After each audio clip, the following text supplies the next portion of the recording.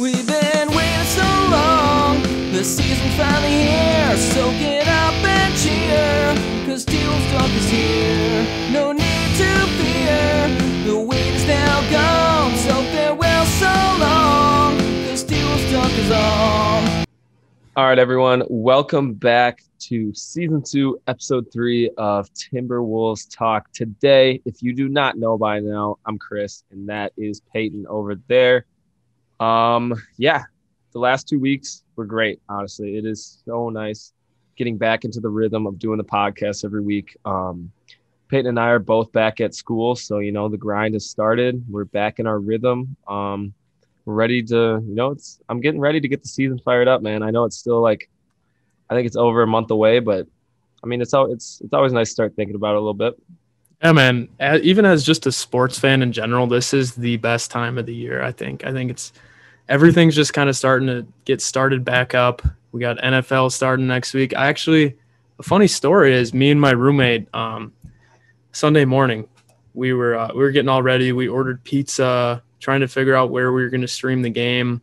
Both of us were in our Vikings jerseys. Um, I remember texting my mom like, "Hey, we're like watching the Vikings game," and I was getting so frustrated because I couldn't find a spot to stream it. And then, lo and behold, there's no Vikings game this week. It actually starts next season, so I felt like an idiot. But we this pizza still came, still ate it, and um, and now we're just more excited for next week. So Yeah, that's all right. I mean, at least you might have had some college football to watch, didn't you? No, I didn't. I didn't watch any except for I did. Uh, I did. I did go to a Division three football game, um, St. John's University. Big dub, but that's about it. How about you? What? How about you? How how was your college football experience? I know you probably had a pretty good one, right? Going to Madison, big school, probably a great game, right?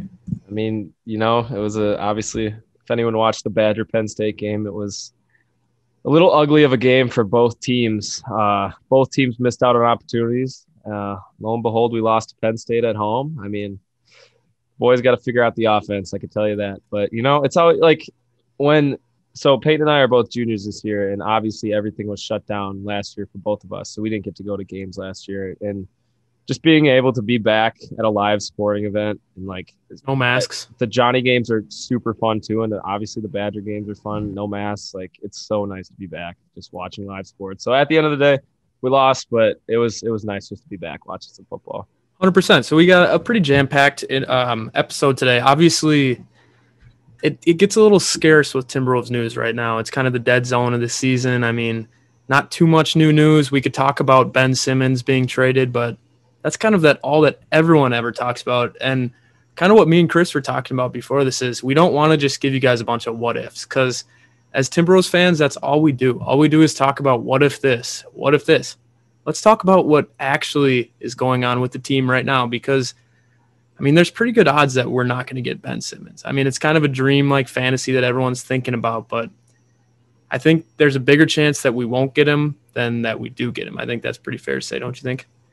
Uh, that is extremely fair to say. I mean, I think we've pretty much touched on every single possible Ben Simmons scenario. Um, there was an article that came out on NBC Sports, I guess, in the middle of the week. Um, you know, since the last time we recorded, but it was like they believe the offer was around Malik Beasley, Okogie, and McDaniels. Four first round picks and then three first round pick swaps. So like seven years of picks. I mean, I, yeah, that's just a no go for me, man. I'm not willing to sell my sell my future and bet Yeah. on Ben Simmons personally. But that's about all the all the news that's been out on the Ben Simmons front. And honestly, Peyton and I are just like we've touched on it in the last two episodes. So until something happens with Ben Simmons, whether he gets traded to Minnesota, whether he's somewhere else, we'll talk about it when it happens. You know, it's That's true, man. I mean, we don't want to we don't want to waste your guys' time talking about something like that. If we've I mean, we've already been covering it so much. But what we do have this week is something that you guys can all be looking forward to later in the episode. Um, the comment section king, I guess you could call him, Gregory Weasley. Um, he's scheduled to be joining the show here at some point. Um, now, Greg, he has a lot of sometimes his family can get in the way and he might not be able to come on, but as of right now, I'm going to be monitoring my phone. He is scheduled to be coming on soon, so very excited to talk to him.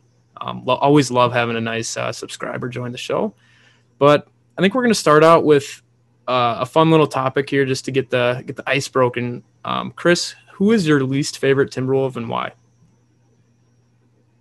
Least favorite Timberwolf. You know, that's that's a that's a tough question. Um, honestly, I don't really hate any of the personalities on our team. Like I think they're all, you know, I think they're all decent guys for the most part. I know everyone's thinking about Malik Beasley at the moment, but you know, I, I think we all got decent personalities on the team. The player that I guess makes me the most mad at times would honestly be a starter, which is Josh Okogie. Mm. Um, I would have said Culver. I think that's pretty obvious, but Yeah, Culver's- Chris is Chris is a, a known Culver hater. I mean, he um he hates the guy. He's so he was so happy when he got traded. It's not even funny. He just kept it on the DL for everyone to see, but he's not I a big did. I guy. did. You know, I I like Jake Layman, so I can't say my my boy Jake, but when Okogie, it's just tough with him. He's such a like a one dimensional player. It's tough watching him just brick three after three. Like you get a little frustrated on the couch watching that when he, he he's he's a guy who, honestly too is.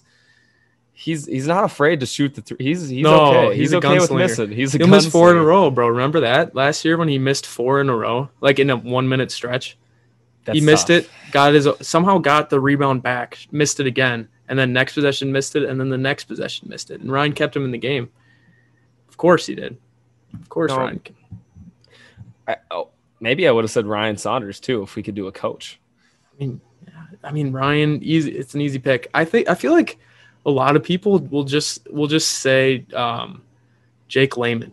I feel like a lot of the people in the subscriber column, everyone's just gonna say Jake Layman off the top of their head, and I feel like that's really unjust. Like what Jake Layman has done a pretty good job, I think, of filling his role. He's a bench player that plays little minutes, and sometimes he gives us that spark that he needs. So I feel like that's just not not the best choice.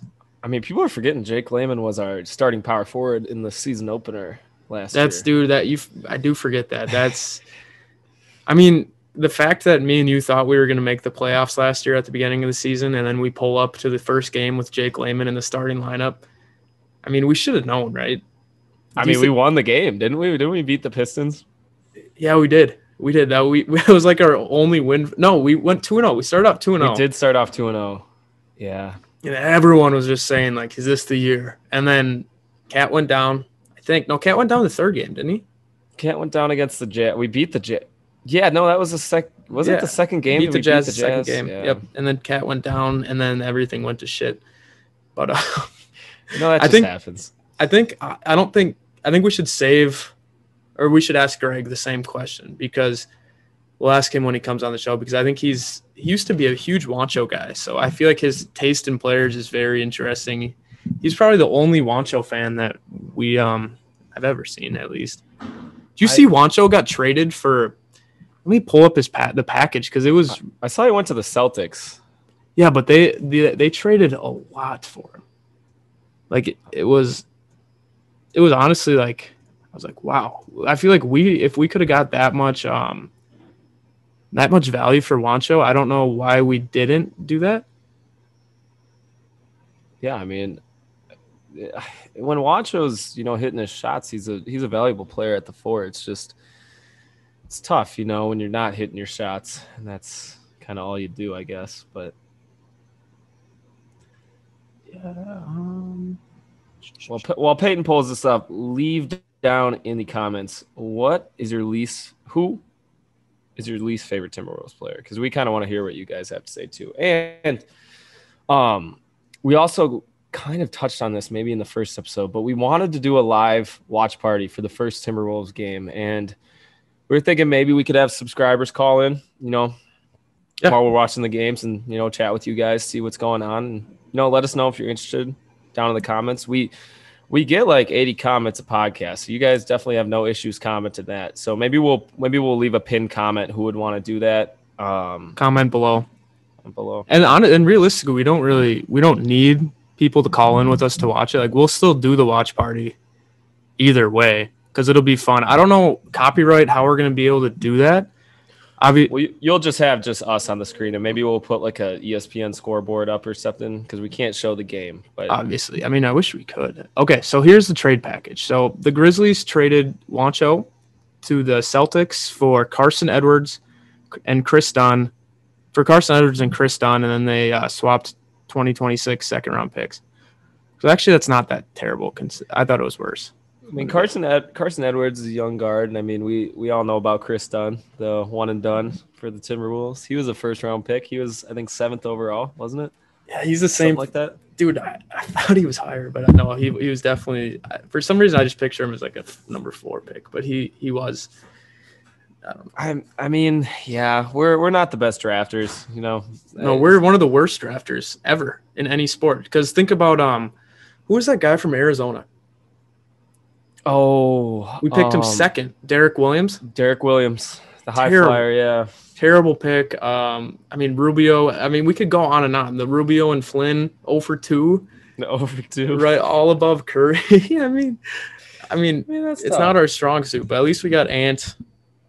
Um, I guess all the Timberwolves fan pages are are loving this right now. What um what do you think about Ant growing two inches? Is it kind of irrelevant, or is that is that going to turn him into the next Michael Jordan, as everyone's saying? I mean, I what is he listed as now? It's like six four, and now he's six six or something like that. He's six So, six now, allegedly.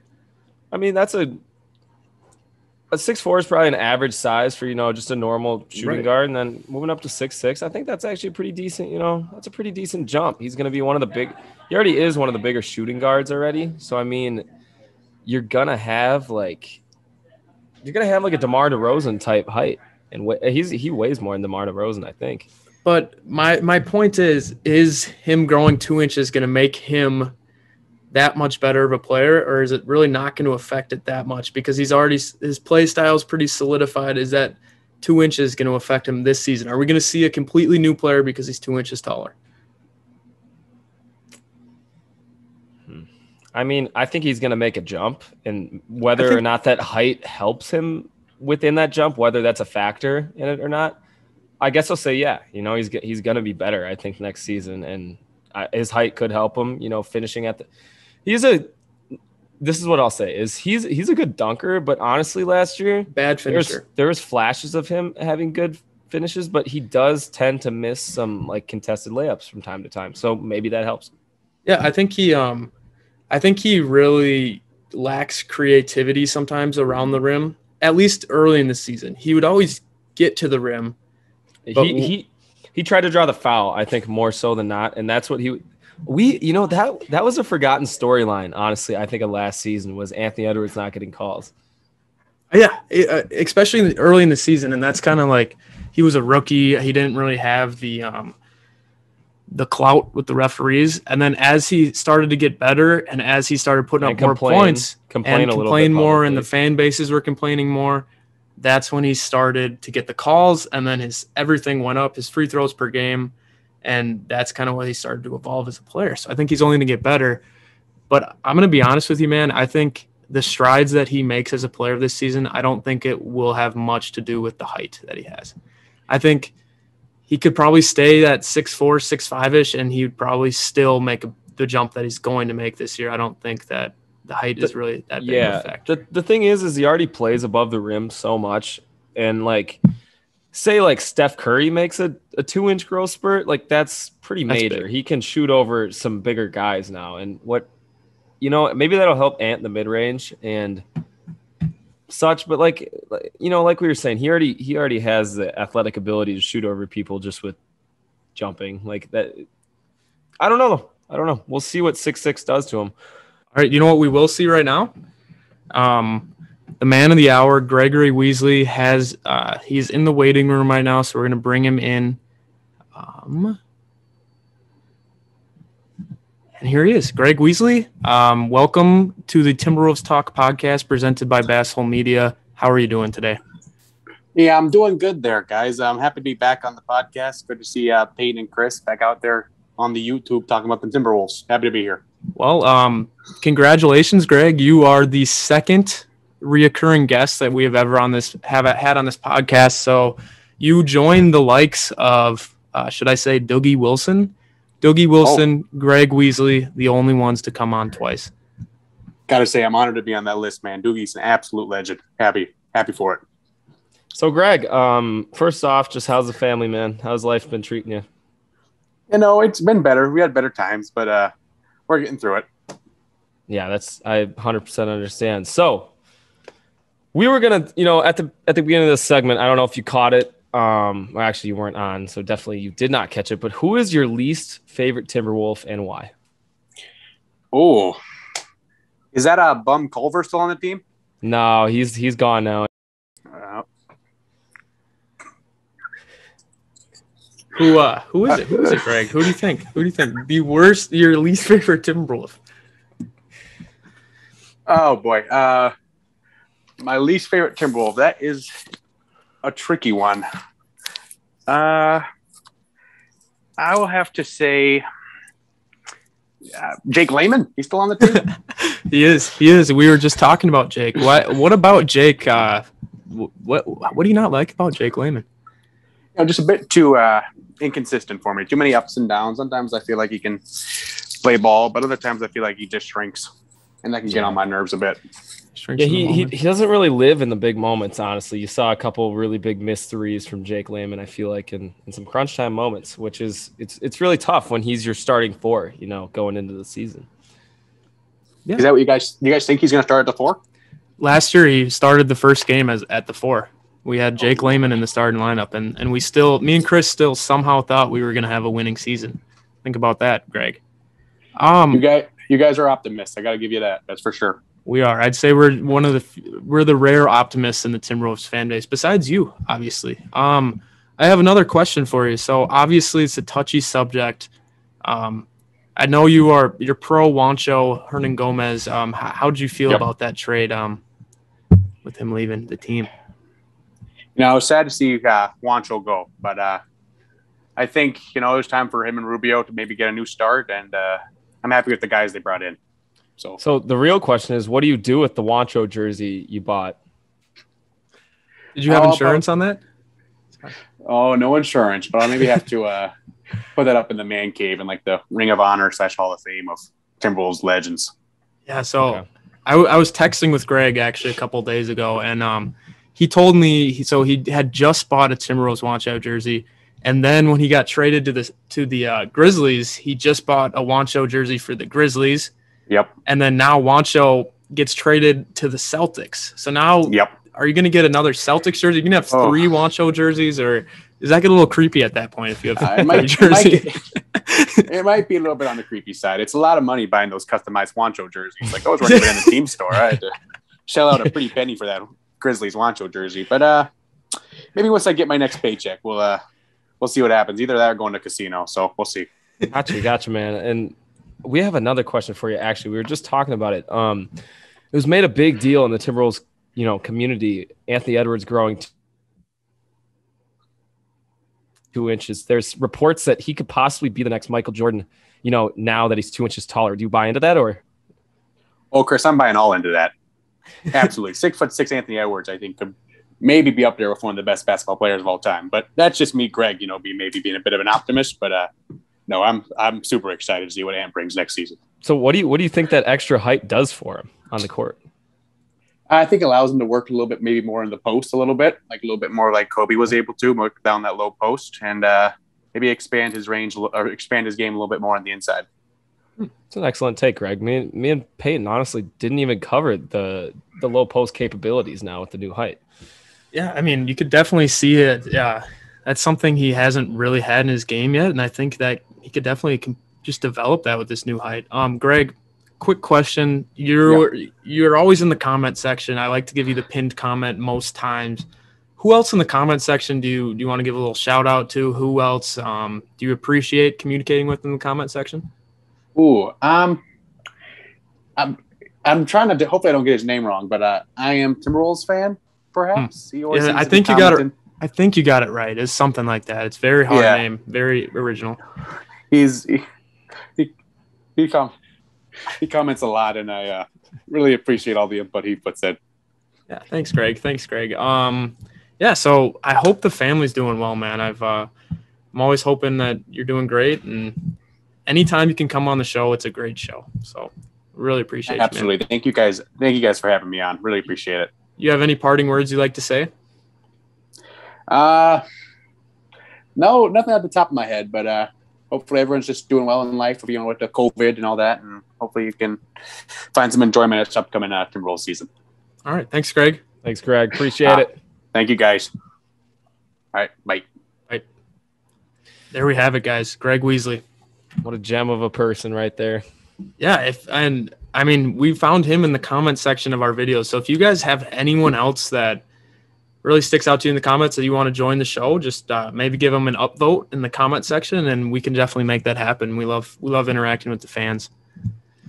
Yeah, that's that's right. Um, yeah, like this this show has been it's been an interesting one today. Honestly, I feel like we're kind of, you know, we say it again that we're in the dead zone, kind of of, you know, the off season, getting a little bit closer, but not not to the point where the excitement is completely there yet. So we need you guys to help us for the next episode immensely. I think we're gonna do another, you know, comment section episode. You guys seem to really like it when we uh pin your guys' comments and put them up on the screen while we're doing the podcast. So, you know, if you guys want to be featured on this show, you need to drop a comment below. Um, we usually try to go through most of them. If you guys drop a somewhat Rel- no, it doesn't even need to be. It just needs to be whatever. If you say the stupidest thing ever, we'll put you on the screen and we'll talk about it. Um, I, ideas, maybe mock trades, um, projected points per games, the projected record, and why. Make sure to say why. We don't want to just hear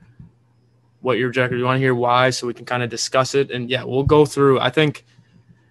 I think if I think me and Chris can promise maybe every single comment that's left on this video, we'll do. Yeah. So I mean, if you guys put up 200 comments, It's we'll- going to we'll be a two hour comments. special, but it's going to Yeah. happen. And yeah, I remember um, last year when we did this, it, it did it did pretty well. We got a lot of engagement with the fans and everyone just kind of being able to, to, to give their part because not everyone can come on the show like Greg did. yeah, I'm I'm super excited to see what you guys have to say. And um, I know this one wasn't you know the most action packed Timberwolves talk, but we had Greg on. We talked about um, you know, just just what the future's kind of holding for us.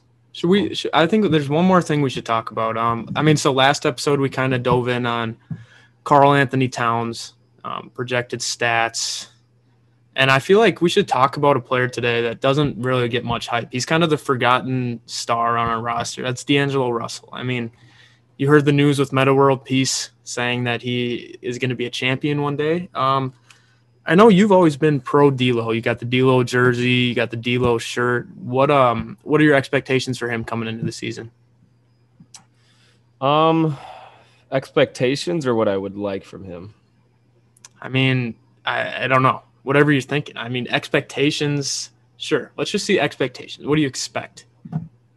You know, I would expect anywhere in the 17 to 21 points per game category. You know, I think for D'Angelo, I think that's a fairly reasonable, you know, ask of him considering the amount of scorers we have on our team and the the volume that's going to be have to be shared upon this Timberwolves team. Um, I would like to see, you know, the assist somewhere in the seven seven Mm. range. I think is very fair. I think five rebounds is a very doable goal, and um, I just expect him to be a little bit cleaner this season, you know, with the passing, with the leadership, with the game management. Um, you know, first full year, first full off season with Timberwolves now this year. I think everything's going to go a lot smoother this year for him. Yeah, I, I kind of picking up on that. I think that where we can see a huge improvement in D'Lo's game is in the passing and in the um, his floor general ability. Because think about last year, a few of the times when D'Lo was on the court, he was also sharing the court with Ricky Rubio. And now with Ricky Rubio gone, the offense is going to be it's going to be up to D'Lo to distribute the ball. And now with Anthony Edwards stepping up in, as a scorer, he's going to have more assist uh, people to assist to. Malik Beasley in the corner. I think we can see his assists just really skyrocket this year compared to years past. Yeah, I think I I definitely think that's a very doable goal for him is to you know um, outmatch his assist totals from the years prior. I think I think there's a lot to improve on in his game. Um, I mean, it's tough. It's it's it's tough. He's a tough player to you know evaluate because he brings a set of skills that I I don't even know who really emulates. Like I think Mike Conley might be the closest, but like I, I don't really know who plays like D'Angelo Russell in the NBA. No one.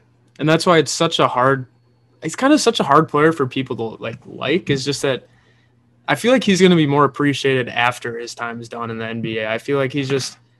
He's not the flashiest. He's not the most athletic player, but he's just. He gets it done, and he's his his passing is elite. And when he was at Ohio State, that's something that really was showcased. His passing was one of the main reasons why he was drafted so high in the league, and I think people forget that with D'Angelo. I think D'Angelo should go back to the uh, the buzz cut with Yeah. the fade, and I think he should just wear. I think he should uh, just cut his cut his eye open again and put that patch on. I think that's the best D'Angelo Russell we've ever seen. Yeah, dude. He uh before the VC, man, he was a different he was a different breed before the VC. Yeah, Um, stuff. But yeah, I'm I'm excited for D'Lo this season. I really do think he's. I think people forget about him just with the way that Ant has grown in popularity over the last year.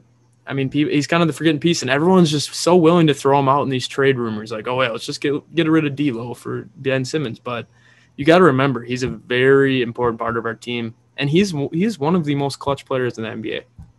I would agree. I would He is that- agree. That pull up three in transition is is elite. Yeah, Um, we've, we've only seen it a couple times, honestly, for the Timberwolves. Hoping to see it a, a few more this year. For sure, man. So when when are we gonna get a haircut? When is that gonna happen? Are you gonna keep growing it out and try to try to get it out way out there? I mean, And do you don't- you do you put stuff in it to make it puff out like that, or is that do just not. That's straight out of bed? You just wake up. That's- that's a just puffed out like that. that that is natural. Yes, that's a natural puff. Um, do the ladies do the ladies like that, or is that like is that you trying something? I don't know.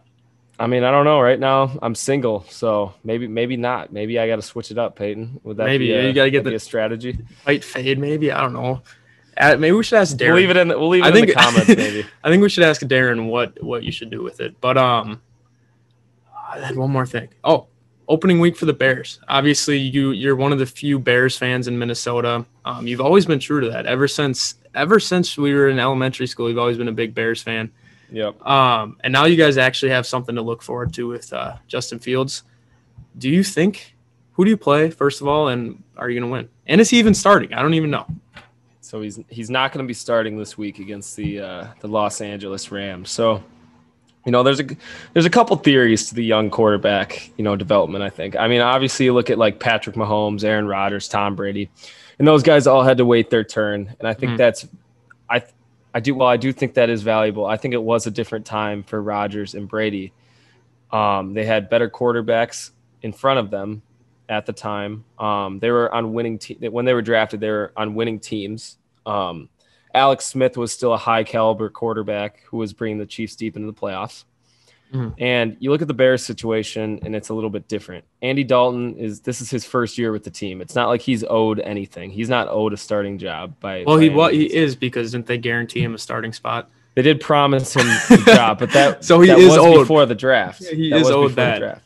I mean, can you keep Who does that? in the NFL? Who does that though? Who who promises someone a starting job? Like I, I feel Who, like who promises a 33 year old? Like who makes prom? Like that's what I'm saying. I don't know. But then you look at the younger generation of quarterbacks, such as Justin Herbert or Lamar or Josh Allen, and they were all tossed into the fire within four weeks. And you all saw what happened to them. They're the next wave of quarterbacks. You know, Deshaun Watson. He he came in in the second half of his first game ever. that's a bad I mean, example. I don't think Yeah, he's uh, he was Can- he was can we the t- night- Can we throw Deshaun Watson's name? Or I don't. I don't really know how we, that we don't we don't associate with Deshaun at the moment. We might we might we might want if he if he gets innocent, but um, Until 20, then, I- 2022 is a little tough to come back from. I, I feel like, yeah, you know. Uh, but um, but I, don't know. I, I, I, I'm on the wave of. I think he's obviously probably better. More, I, I, you know, I don't know. Andy Dalton's been around for a while. He's won playoff games. Um, you know, he's thrown a lot of yards. He's probably obviously smarter right now as a QB. Obviously, I don't think he's as talented as Justin Fields, but you know, why not feed Andy Dalton to the Wolves with you know Aaron Donald and Jalen Ramsey? But that's Right. that's that's the Right. other thing, man. That's that's that is the other thing though is you're not going to get a week off in the NFL. You know, you're going to have the Browns week three, and you're going to have Myles Garrett coming at you, and he might rip your helmet off and hit you with it. You just never know. yeah. Um, I guess a hot a hot take. I'd I'd rather have Kirk Cousins on my team than Justin Fields. or Andy Dalton. So I just want to put that out there, make sure people know where I stand. Um, guys, leave those comments, please, because uh, I I I want to do a three hour episode of just going through all your comments. I I would I would enjoy that. Um, uh, yeah, leave your comments. Let's hope there's some Timberwolves news that this next upcoming week, some, some more more topics for us to talk about. Um, We're try- we're trying, guys. We're we're trying to bring you all the you know all the current news, and that's why I think we have to do a lot of speculative segments Yeah. in the episode, is because there's just nothing happening right now, right now with the Timberwolves. And Right. I mean, we gotta be we gotta get creative with it. I we were even thinking about talking about what if Karl-Anthony Towns was the one who grew two inches? How would that affect his stats? I mean, we said so many random things, but uh, you know, give us I'm some just- ideas. Give us some ideas below. What what do you guys want to hear us talk about? for sure. So thanks for watching this episode. I know it's a little shorter than normal. Uh, special thanks to Gregory Weasley for coming on. And uh, yeah, we'll see you guys next week, and hopefully we'll have a ton of comments to talk about. So thanks, guys.